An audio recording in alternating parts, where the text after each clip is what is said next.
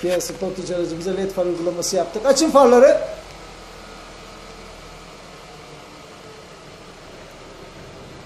Selektör yapın. Tamam.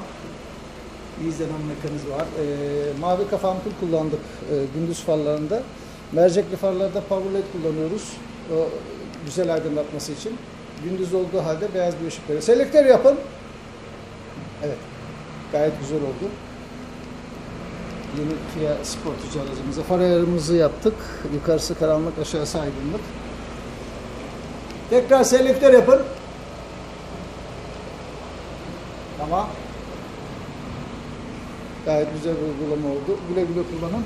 Bu tür uygulamaların satış ve montajını yapıyoruz. Video altındaki iletişim bilgilerinden bizimle bağlantı kurabilirsiniz.